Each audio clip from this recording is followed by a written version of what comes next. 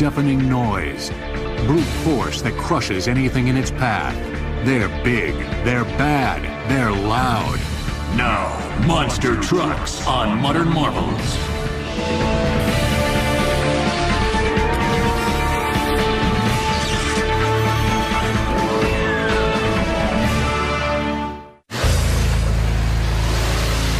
They rage like mythic beasts across the land.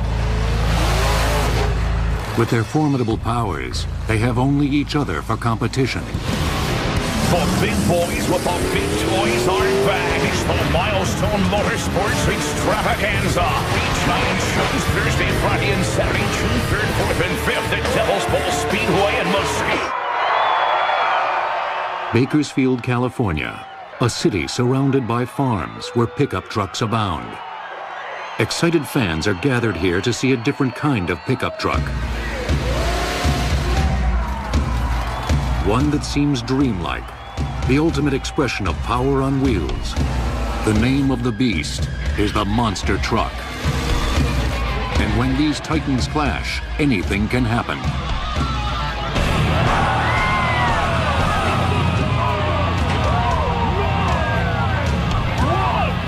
People come to see wrecks. What we're doing is almost like a wreck every time we go out and race, whether we get in trouble or not, where there's going to be some kind of violent ride. The big challenge is these things are 10,000 pound beast, and so they don't turn real well. The noise is deafening. The stunts are unbelievable. The wrecks are incredible. It's very, very loud, which is something that doesn't come across, especially when it's in an indoor domed stadium where a lot of these events take place. So there's mud flying, people are hitting the face with dirt, they get dirty. They love the roar of the engines, the power. I think more than anything, people love monster trucks because they wish they were in one when they were in the traffic jam at 5 o'clock in one of the major cities in America so that they could just drive over the cars in front of them and get home. Monster truck racing is one of the fastest growing motorsports in the world. From small town dirt tracks to big city indoor stadiums, fans can't get enough of these motorized mammoths. Monster truck is an overgrown pickup truck. A pickup truck might weigh 3,000 to 4,000 pounds. A monster truck weighs 5 tons, 10,000 pounds. When you're in the air over, say, six, seven cars, and you're 14 feet in the air, that gives you enough time. You get to actually look around. And knowing what you have, the mass of machinery you have in the air, it's an ego booster, let's just say that. no one has flown higher or farther in a monster truck than Dan Runte, driver of Bigfoot 14.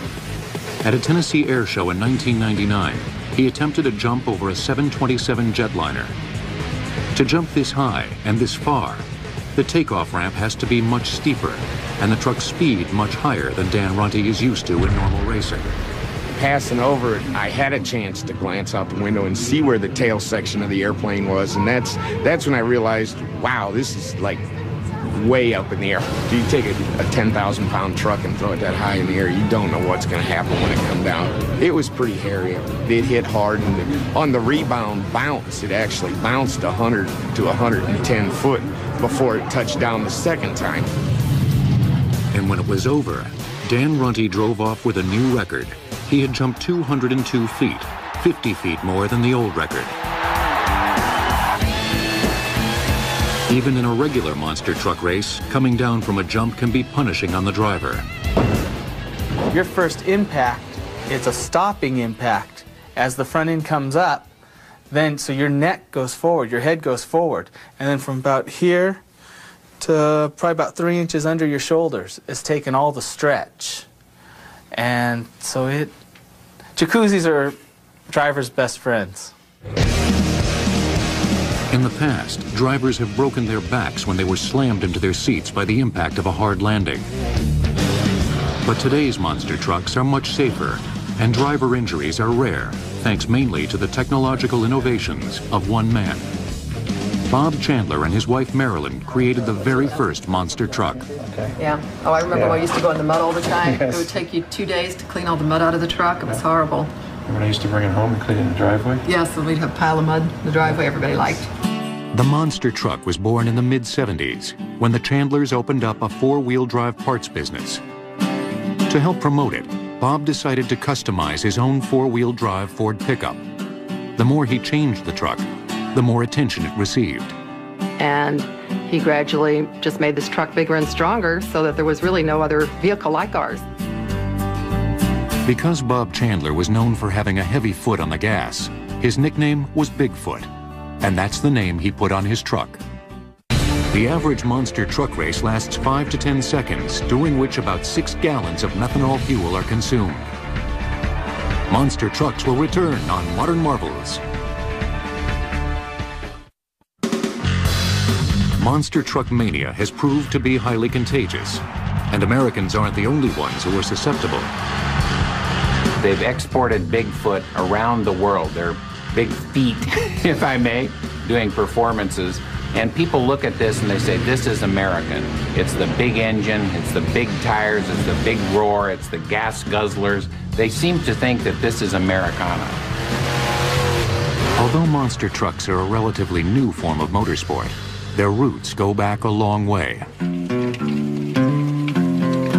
the late 1800s, Farmers sometimes held contests to see whose horse could pull the most weight. But in the early 1900s, tractors began to replace horses on the farm. And by the 1930s, tractor pull tournaments known as tug pulls were being held throughout the Midwest. The tractors pulled a sled of steel that was gradually loaded with more and more weight Early monster trucks often appeared at shows where the featured attraction was a tractor pull contest.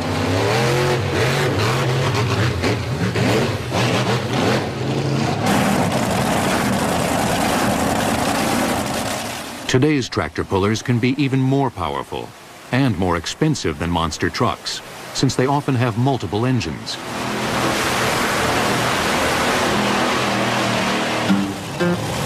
Like monster trucks, the tractors have huge tires, but only on the rear axle where they need the traction.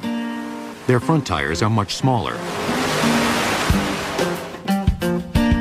The tires monster trucks use today, called flotation tires, are manufactured for agricultural use.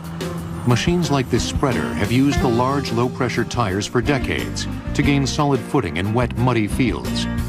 Many monster truck owners shave down the thick rubber tread to reduce weight, this can lighten each tire by as much as 200 pounds.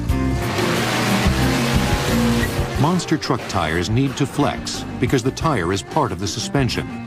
That's why the low-pressure agricultural tires are ideal. The huge tires on earth movers, like the 785 Caterpillar mining truck, would never work on monster trucks. They're too heavy and too rigid. For years, the military has relied on its own brand of monster truck on the battlefield. Today, one of the most rugged and versatile is the HEM-TT, made by the Oshkosh Truck Corporation in Wisconsin. The letters stand for Heavy Expanded Mobility Tactical Truck.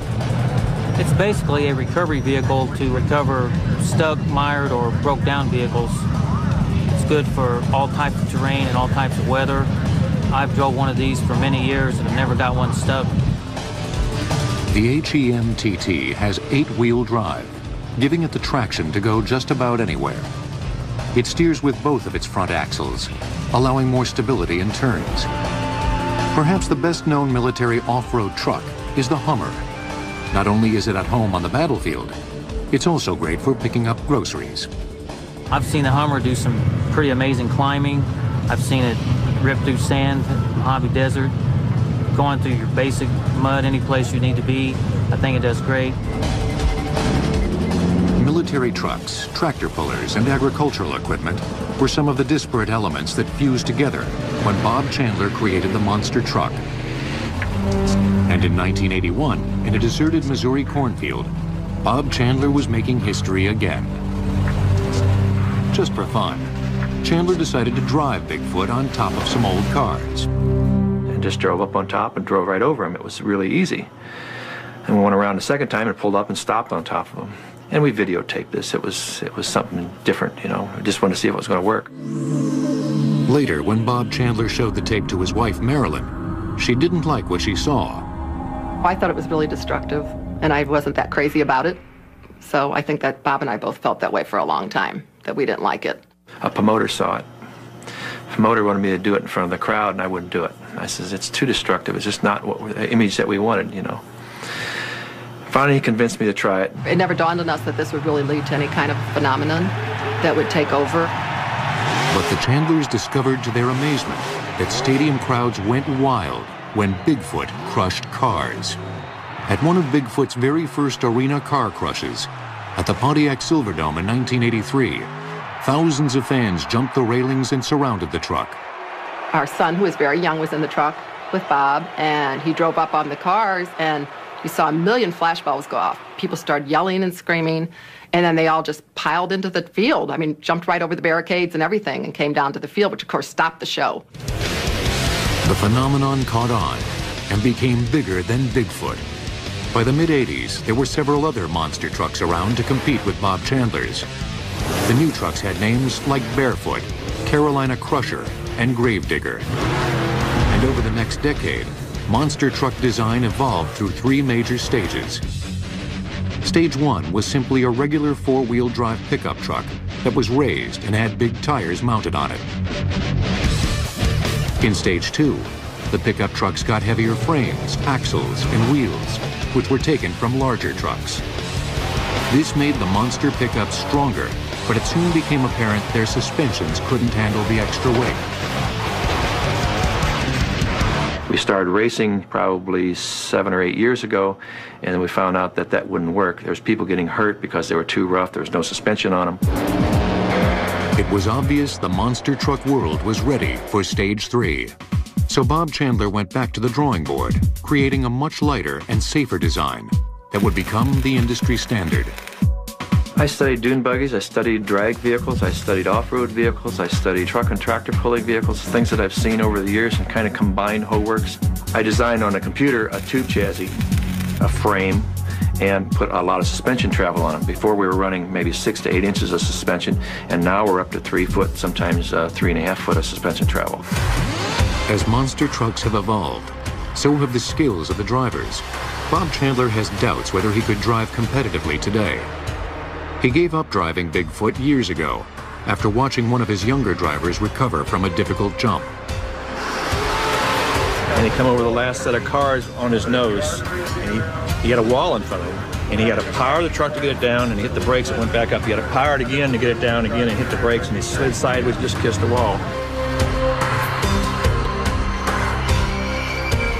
Now, I know I could drive the truck like he does around the courses, but to be able to do all this spontaneously, or get the brakes, get the gas, hit the brakes, turn, everything else at one time, I don't think I could do it. In 1983, Bob Chandler made a dramatic new discovery about the capabilities of monster trucks. Like many scientific discoveries, it happened by accident. He was trying to get Bigfoot's rear tires submerged in a lake for a photo shoot, but found it was impossible because not only do monster trucks fly, they also float. The high volume of air in the tires provides enough buoyancy to keep the heavy truck from sinking. That led to a race with a paddle wheeler down the Chattahoochee River in 1985. Bigfoot lost, so Bob Chandler then challenged the paddle wheeler's captain to a race down Main Street. The captain declined. The average monster truck costs about $150,000 and takes from 3 to 12 months to build. The cost of maintaining and transporting it during a year of racing can be as high as $120,000. Monster trucks will return on Modern Marvels. The modern monster truck is a triumph of technology, with more moving parts than any other racing vehicle. The power plants of most monster trucks are based on conventional Ford, Chevrolet, or Chrysler blocks, but they don't stay conventional for long. The blocks are bored out and supercharged with a maximum displacement of 575 cubic inches. Power varies depending on how the truck is set up and tuned, but it can range as high as 1,700 horsepower. These days, most monster trucks have their engines mounted behind the driver, in a mid-engine configuration. This gives the truck much better balance than a front-mounted engine. From a distance, they appear to have standard pickup truck bodies, but it's just an illusion. The body is actually a fiberglass shell molded in the shape of a truck. The headlights and grille may look real from the stadium seats, but they're just painted on. The suspension of the modern monster truck is an innovation developed by the Bigfoot team. These specially constructed shock absorbers, which cost as much as $1,000 each, can handle the impact of landing from a 200-foot jump. Unlike a regular truck, the monsters have both front and rear wheel steering. The rear wheel steering is activated by a switch that instantly turns the wheels and then automatically centers them after the turn is made. This allows the trucks to go around corners faster. One of the biggest problems with early monster trucks was that the axles broke because of the strain of driving the huge wheels and tires. To make that big tire work, you couldn't get an axle strong enough for our size engine. We'd break axles all the time, we'd break transmission, we'd break everything else. So off the big equipment, we, put, we pulled a planetary. The planetary is nothing more than a, than a gear reduction at the wheel. The so-called planetary gear makes it easier for the axle to turn the huge wheels. It consists of a central sun gear, surrounded by three planet gears, which in turn are surrounded by a stationary gear. As the sun gear rotates, it forces the planet gears to walk around the stationary gear. With this gearing down, it takes less effort to turn the wheels.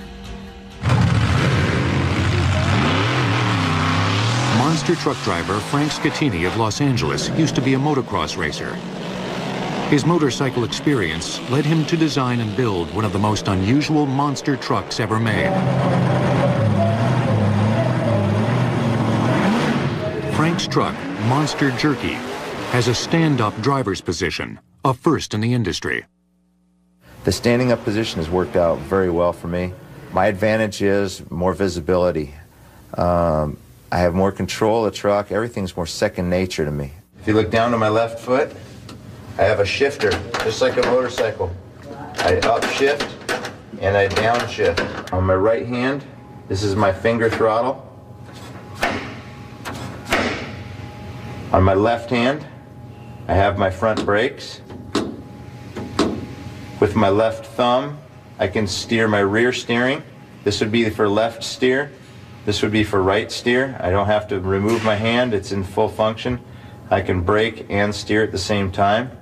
The stand-up position allows Frank's legs to act as additional shock absorbers in hard landings. So far, Frank's unique system hasn't won over any converts among other drivers. When Rick Swanson tried driving Frank's truck, he found it a challenge. I would say I'm probably six inches taller than Frank and over 100 pounds heavier than Frank. So I don't exactly fit in the truck as well as he does. I, I ended up doing a face plant on the dash and almost hitting him. It has been termed the greatest truck, truck gathering on the planet. And now it returns to the Indiana State Fairgrounds. Don't miss the 19th annual Advanced Auto Parts Fall Four-Wheel Jamboree Nationals. One of the biggest annual monster truck races in the country takes place in Indianapolis every September. It's three days of total immersion in the world of four-wheel drive trucks, and the monsters are the star attraction. Some of the top monster trucks and drivers are racing here. The Bigfoot organization is racing two trucks. Bigfoot 14, driven by record setter Dan Runte, and Bigfoot Tonka, driven by Eric Tack. Steve Macklin, the owner-driver of Nitrofish, is relatively new to the game. He's been racing for only about a year and a half. I've raced with all the trucks here this weekend and been able to come out on top in a few cases and been able to not come out on top in a few cases. So the truck is more than capable of doing it. I think I have as good a good a chance as anybody. Steve and Nitrofish has been been uh, actually getting better every race. He's had some great races so far, and he's had a few that he's had problems with. So I think he's going to come around. He's going to be one of the great competitors out there. A guy that took his driver's test here this weekend Ladies and gentlemen, he's going to come run with the big boys. Give it up for the big dog and Doug Nelke. Doug Nelke is the ultimate rookie at this race. Just a few hours ago, he took his monster truck driver's test in front of several experienced drivers who had to decide if he was ready for his Class A license. Doug passed the test, proving he knows how to handle Big Dog, the new truck he spent months building. I was one of the inspectors that signed him off. If he's smart, he'll he'll drive his own race this weekend. He won't try to just blow everybody away and show everybody he's good. Yeah, good, because it takes time. For Doug Nelke, becoming a monster truck driver is the realization of a childhood dream. Things were awesome. Impressed me when I was a little kid. Uh, just been, just something I always wanted to do. Used to mud race and finally got our monster truck. Dreams coming true. I tell you, it's a great time. Many of the other drivers, like Eric Tack of the Bigfoot team, take time to give rookies like Doug the benefit of their experience. Tack recalls a time when the steering wheel came off in his hand in the middle of a race you do it a hundred times, you just take it for granted it's everything's there. And you out hit the cars, you're up in the air going. that would be a bad thing. Most monster truck races are run on a straight line course, but this one is different. Called an S-track, it has multiple turns and is much more challenging.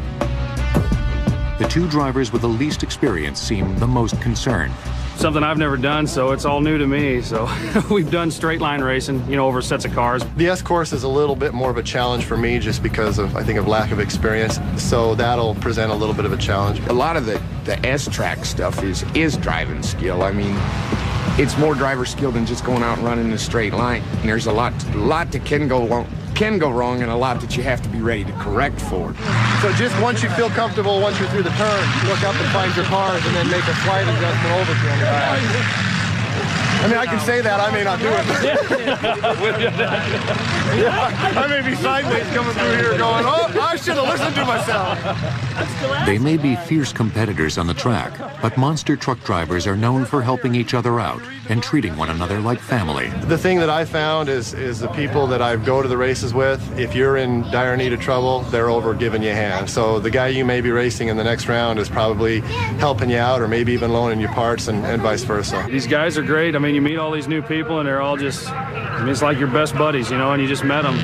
It's awesome. It really is. As they get ready for the first race, Dan Runte tells Bob Chandler he's concerned about the slippery grass areas on the S curves. I don't like these tires on this grass. Very hard turning? Yeah. But at this race, slipping tires will turn out to be the least of the driver's worries. Coming up, the big race is full of big problems. An estimated 4 to 5 million people attend monster truck races every year, more than U.S. Major League Soccer or the Women's National Basketball Association. Monster trucks will return on Modern Marvels. One of the most crucial ingredients of a successful monster truck race is dirt. They're specialists in making the right kind of dirt and mud. There's a specialist who comes in a couple days early and makes sure the dirt is just the right consistency for monster trucks or for mud racers, which sometimes go along with the, the monster truck racing. So it's becoming an interesting world with all sorts of fascinating occupations like dirt specialist. Stadiums become dirt tracks overnight, with as many as 100 truckloads of dirt brought in at a cost of up to $100,000. It can't be too sandy or contain too many rocks, and the best dirt has a high clay content. Some race promoters own dirt in several cities, which they truck in to various venues. The dirt is sprayed with water before a race to keep down the dust. Safety is of paramount importance at every monster truck event. If a truck this big, powerful, and virtually unstoppable ever got out of control, the results could be disastrous. Please, everyone stay back. Please stay back.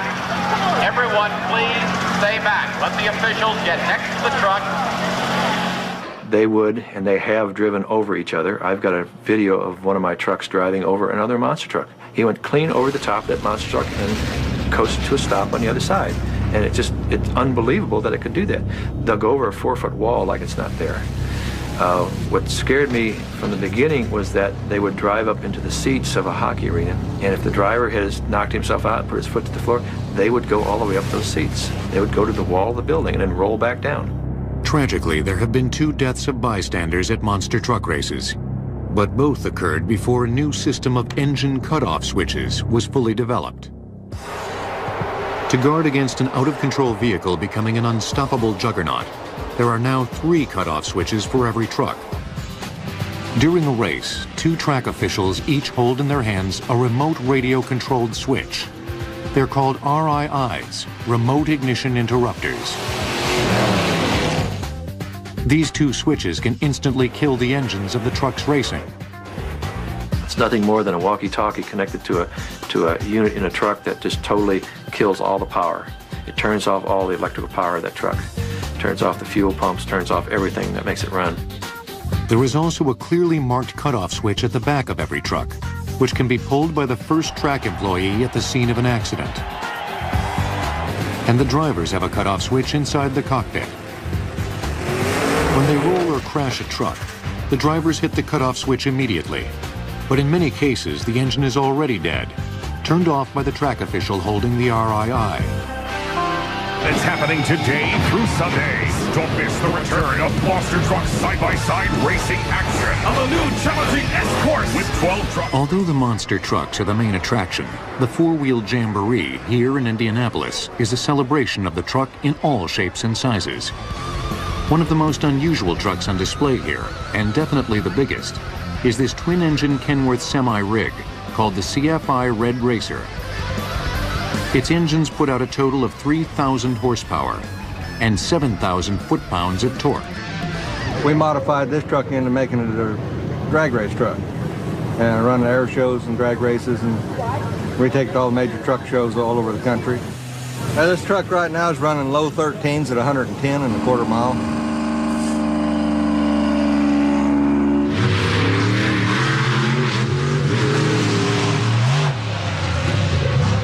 With the right set of gears and everything, this truck's probably capable of running close to 200 miles an hour. That's a lot faster than the monster trucks can go. In their races this weekend, the top speed will be about 60 miles an hour. Before a race, monster trucks often do a car crush. But today, they've come up with a new twist. This Korean import is about to feel the power of the two Bigfoot trucks.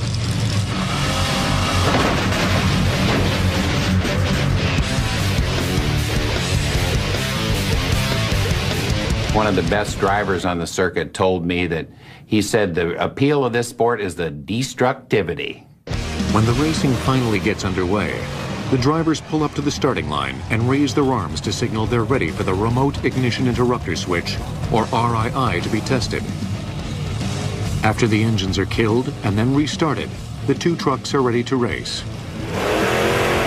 Winner goes on to the next bracket, and he he races the next the truck that wins the second bracket, and whoever sets the fastest time in their brackets gets lane choice for the next race, which is very important. And some tracks have, have advantages and disadvantages for different tracks. Although some events have purses, most, including this one, do not. The monster truck owners are usually paid a flat show-up fee, no matter how well they do in the race. This has led to criticism that it's not real racing, but the drivers maintain they compete fiercely, no matter how they're being paid. We're not racing for a direct purse, but we're racing for an indirect purse. That show-up fee is based on last year's schedule. How many events you did, how well you did, who saw you. But the reason you want to do good once you're there, well, obviously for next year, and it'll also help t-shirt sales that night. T-shirts can range anywhere from 200 to $1,000 in a weekend. Extra money. The high-performance monster truck engines need a lot of downtime between races. It's not like circle track racing where guys can go 100 laps. The alcohol, you know, supercharged engines need some time to breathe. It's more like drag racing as far as the engines are set up. You've got to have a chance for them to cool down. You've got to have a chance to, for them to kind of regroup a little bit. The monsters are usually interspersed with other kinds of racing, like these mud dragsters. Ladies and gentlemen, we are about five minutes away from class number five. And the guys that were competing here this afternoon in our Monster Truck Thunder Drags, the Monster Truck Autograph Session will be held immediately following Monster Truck Thunder Drags competition. There you go, buddy. One of the most important parts of a monster truck driver's job is interacting with the enthusiastic fans. The drivers make themselves available for autographs, pictures before and after the event. Um, we, we're there till the last fan leaves with either signing t-shirts, signing pictures, whatever. The drivers of monster trucks have become sort of like NASCAR drivers. They used to be these gritty old daredevil types, and now they're very articulate people who are always very careful to mention the sponsors in their interviews. They're very polished performers and very media savvy. Pickle? Pickle? Uh, there you go, buddy. okay, get back. The kids love getting the driver's autographs, but sometimes kids say the darndest things. We did an autograph session, and the kid getting up next in line, and his dad said, That's the driver, so and so. And the kid goes, Well, he sucks. He breaks all the time. Which was 100% true, but it was like, oh, out of the mouth of babes, you know. You don't, you don't expect kids to be that blunt. For the most part, the people are after the autograph of almost the truck. It's not so much the driver, it's almost the truck. After the first day's races, there are complaints that the Indianapolis track isn't challenging enough. Most of the drivers had the same impression that the track was, was just lame. It just wasn't exciting enough for the crowd. Uh, we had a talk with the, with the promoter, and the promoter agreed that there was something had to be done. The promoter decides to make some of the jumps steeper for the next day's racing. They will also plow up some of the grassy areas to give the trucks more traction, allowing them to turn the corners faster. There will be more challenges and more excitement tomorrow. In fact, much more than anyone is expecting. In the last 10 years, sales of Bigfoot licensed products have totaled more than $250 million. Monster trucks will return on Modern Marvels The final day of monster truck racing is about to begin at the Four Wheel Jamboree in Indianapolis, Indiana. As recorded by our four cameras, it will be a day that turns into a simultaneous, multi-level drama. A day that truly captures the thrills, spills, and chills of monster truck racing. The track has been changed since the previous day to make the jumps higher and more exciting. They will prove to be much more difficult for the drivers.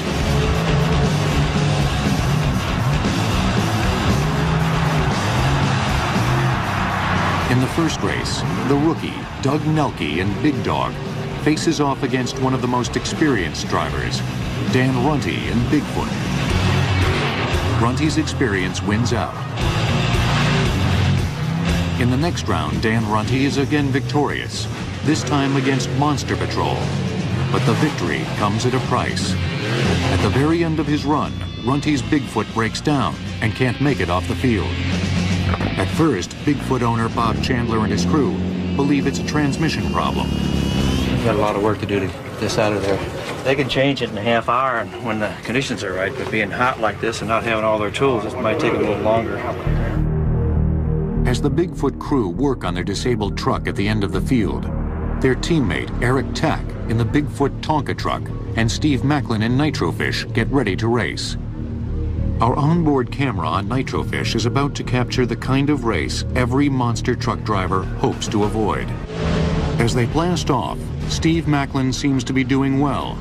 But then, on the first jump, something goes wrong. Nitrofish lands hard on its nose. Dan Runte and Bob Chandler wince when they see it.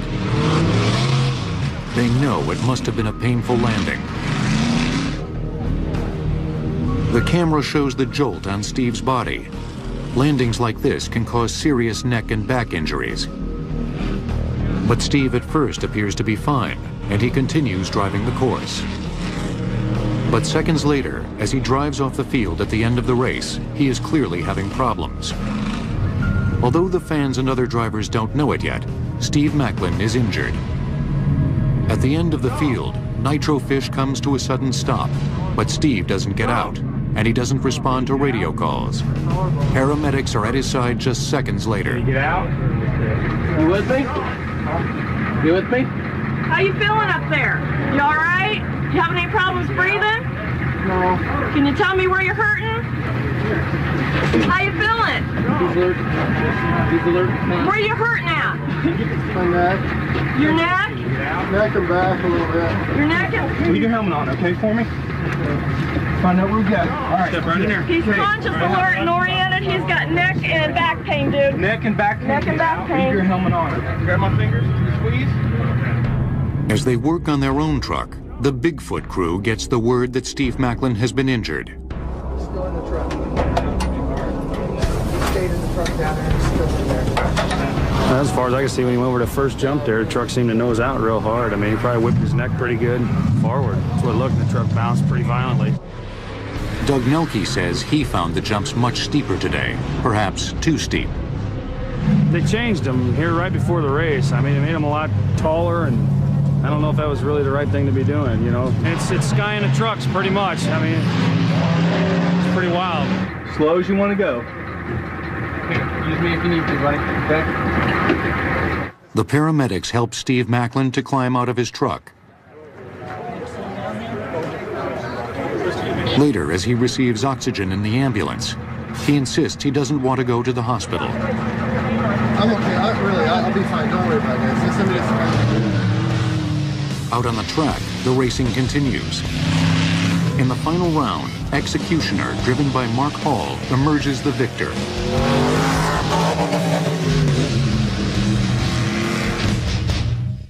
At the end of the field, work on Bigfoot continues, while Steve Macklin is still resisting the idea of going to the hospital. You go get checked out, man. Ain't gonna hurt. Just kind of help me lay down. Yeah, come on. I got you. That's all I need. Thank you. You need some more ice or anything? No, I got more over there. Stuff, right? Although the racing is over, the most exciting action is yet to come. The climax of every monster truck event is the freestyle, where drivers go out on the field solo and push their trucks to the limits.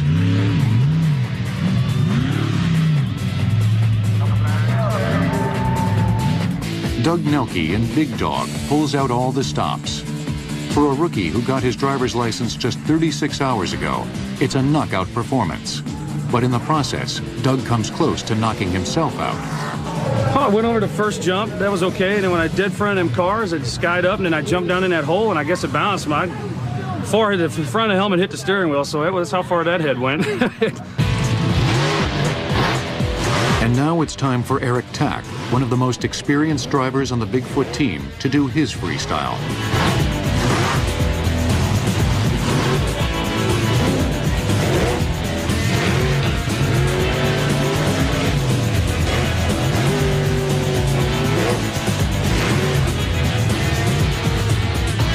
Eric's performance is a tour de force. He is a master of the wheelie, and he proves it tonight. It is a freestyle to be remembered.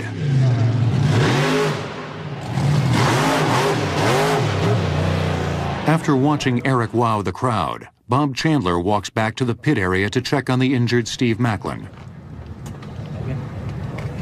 Here, drop this side over here. One, two, three. Steve's left arm is still numb, and he finally agrees to let ambulance attendants take him to the hospital. Thanks, Bob. Thanks, Bob. I'll come back and race you guys next week.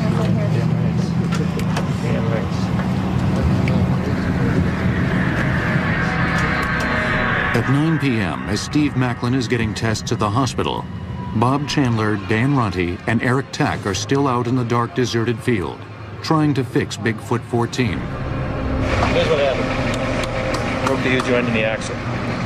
That's the U joint right there. That was the weak link. It just found the weak link and broke it.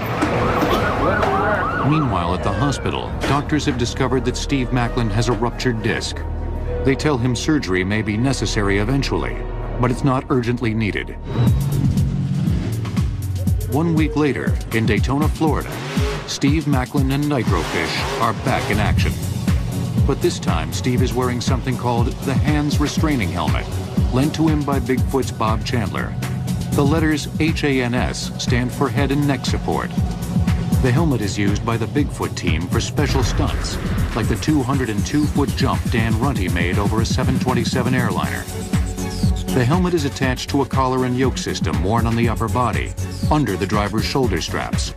It's designed to prevent stress on the driver's neck and spine by limiting the movement of the head in relation to the body. Steve Macklin is going to need it for what's about to happen. The end of his first run, Steve's truck suddenly flips over on its roof. But then it keeps on going and lands back on its wheels. Steve comes through it without a scratch. The truck has lost some of its body panels, but it can still race without them. It's all part of the game in the rough and tumble, unpredictable world of monster truck racing. It's a world with an equally unpredictable future. The industry appears headed in two different directions. One is toward more showmanship. The other is toward more legitimate racing, with bigger purses to winners instead of flat fees to drivers. It might end up being two divisions of monster trucks, one that does the exhibitions and the wrestling and the, and the weird stuff, and maybe we'll be the uh, group that does the real racing, and I'd like to see that. That's my goal. And they're trying to legitimize the sport. And when you say legitimize the sport, I mean we're going to have ballroom dancing in the Olympics. So who can really say what a legitimate sport is? It's a little bit of a mix of real sport, legitimate sport, spectator sport, pro wrestling, NASCAR driving. Whatever lies in the future, one thing is certain. Monster trucks won't be going away. And they won't be getting any smaller. In the big world of monster trucks, size does matter.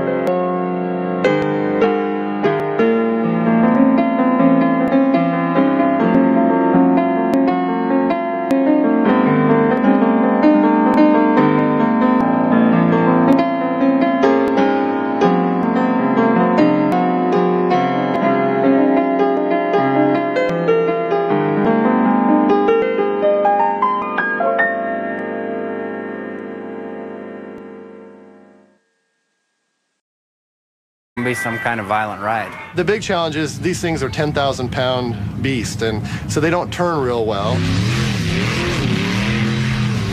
The noise is deafening. The stunts are unbelievable. The wrecks are incredible. It's very, very loud, which is something that doesn't come across, especially when it's in an indoor domed stadium where a lot of these events take place. So there's mud flying, people are hitting the face with dirt, they get dirty. They love the roar of the engines, the power. I think more than anything, people love monster trucks because they wish they were in one when they were in the traffic jam at 5 o'clock in one of the major cities in America so that they could just drive over the cars in front of them and get home. Monster truck racing is one of the fastest growing motorsports in the world. From small town dirt tracks to big city indoor stadiums, fans can't get enough of these motorized mammoths. Monster truck is an overgrown pickup truck. A pickup truck might weigh 3,000 to 4,000 pounds. A monster truck weighs 5 tons, 10,000 pounds. When you're in the air over, say, six, seven cars, and you're 14 feet in the air, that gives you enough time. You get to actually look around. And knowing what you have, the mass of machinery you have in the air, it's an ego booster, let's just say that. no deafening noise, brute force that crushes anything in its path. They're big, they're bad, they're loud. Now, monster trucks on Modern Marvels.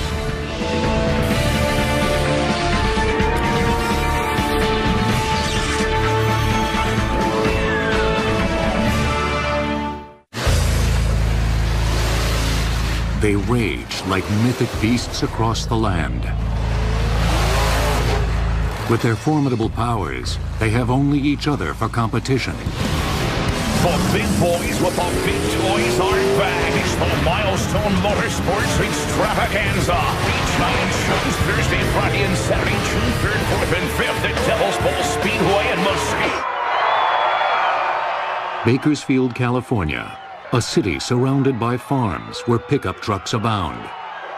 Excited fans are gathered here to see a different kind of pickup truck. One that seems dreamlike, the ultimate expression of power on wheels. The name of the beast is the monster truck. And when these titans clash, anything can happen.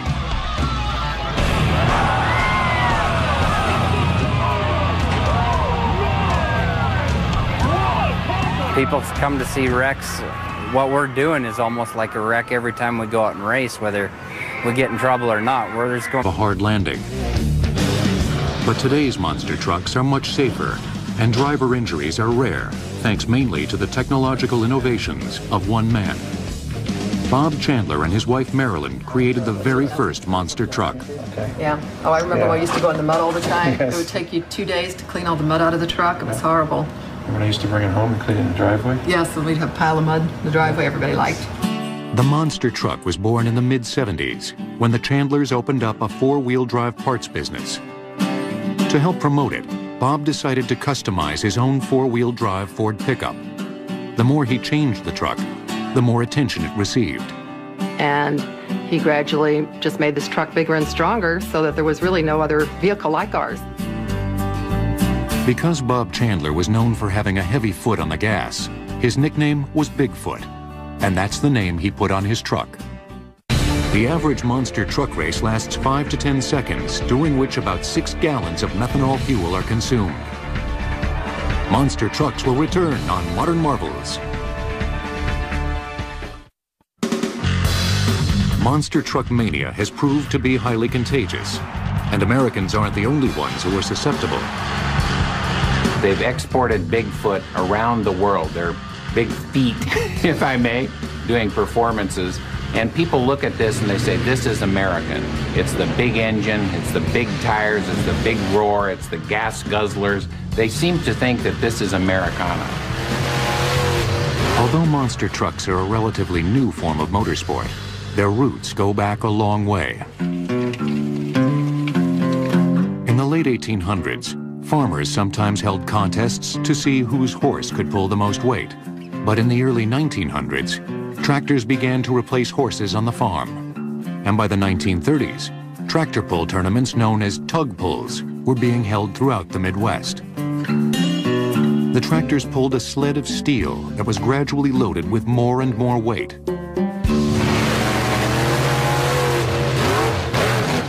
Early monster trucks often appeared at shows where the featured attraction was a tractor pull contest.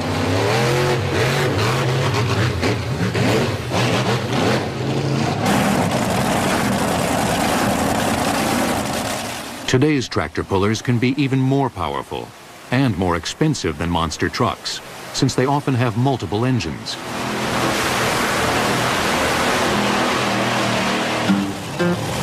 Like monster trucks, the tractors have huge tires, but only on the rear axle where they need the traction. Their front tires are much smaller. The tires monster trucks use today, called flotation tires, are manufactured for agricultural use. Machines like this spreader have used the large low-pressure tire. One has flown higher or farther in a monster truck than Dan Runte, driver of Bigfoot 14. At a Tennessee air show in 1999, he attempted a jump over a 727 jetliner. To jump this high and this far, the takeoff ramp has to be much steeper and the truck's speed much higher than Dan Runte is used to in normal racing. Passing over it, I had a chance to glance out the window and see where the tail section of the airplane was, and that's that's when I realized, wow, this is like way up in the air. Do you take a, a 10,000 pound truck and throw it that high in the air, you don't know what's going to happen when it comes down. It was pretty hairy. It hit hard, and on the rebound bounce, it actually bounced 100 to 110 foot before it touched down the second time. And when it was over, Dan Runte drove off with a new record. He had jumped 202 feet, 50 feet more than the old record. Even in a regular monster truck race, coming down from a jump can be punishing on the driver. Your first impact, it's a stopping impact. As the front end comes up, then so your neck goes forward, your head goes forward, and then from about here to probably about three inches under your shoulders is taking all the stretch. And so it, jacuzzis are drivers' best friends. In the past, drivers have broken their backs when they were slammed into their seats by the impact of